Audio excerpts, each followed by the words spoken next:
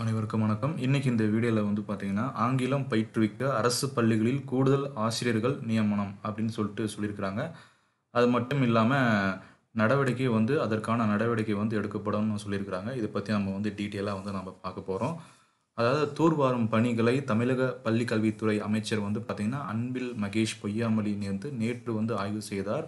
பின்னர் வந்து நிபுணர்களுக்கு பேட்டியளித்த போது அவர் என்ன சொல்லியிருக்காருன்னா பள்ளி கல்வி கட்டணம் தொடர்பாக புகார் அளிப்பதற்கு ஏற்கனவே பாலியல் தொடர்பான புகார் அளிப்பதற்காக வழங்கப்பட்ட எண்ணிலேயே தொடர்பு கொள்ளலாம் அல்லது இமெயில் ஐடி மூலமாக தொடர்பு கொள்ளலாம் அப்படின்னு சொல்லியிருக்காங்க.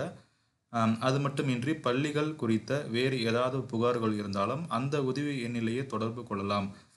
வரக்கூடிய புகார்கள் கவனத்தில் எடுத்து அதுக்குன்னு தனியாக ஒரு குழு வந்து ஆரம்பிக்கப்பட உள்ளது.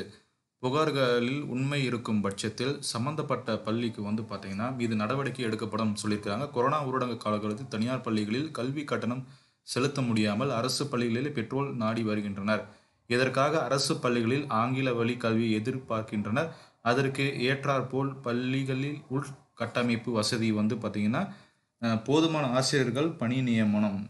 ஸோ போதுமான ஆசிரியர்கள் வந்து பார்த்திங்கன்னா ஸ்டூடெண்ட்ஸோட எண்ணிக்கை வந்து அதிகரிச்சுட்டே இருந்தால் அதுக்கு உண்டான போதுமான ஆசிரியர்கள் வந்து இருக்கிறாங்களா அப்படின்றது அதுக்கு உண்டான நடவடிக்கையும் வந்து எடுக்கப்படும் சொல்லியிருக்கிறாங்க. அது மட்டும் இல்லாமல் கொரோனா காலம் என்பதால் மாணவர்கள் பெற்றோர்களின் கருத்துக்களை கவனத்தில் எடுத்துக்கொண்டு அதற்கு தகுந்த தகு தகுந்தாற்போல் பள்ளி கல்வித்துறை திட்டங்களை வந்து கொண்டு வந்திருக்கிறாங்க அப்படின்ட்டு கொடுத்துருக்காங்க. பத்தாம் வகுப்பு படித்து முடித்தவர்களுக்கு அனைவருக்கும் தேர்ச்சி என்று தேர்ச்சி என்ற சான்றிதழ் வழங்கப்பட்டுள்ளது. இவ்வாறு அவர் கூறினார். தேங்க்யூ ஃப்ரெண்ட்ஸ் தேங்க்ஸ் ஃபார் வாட்சிங்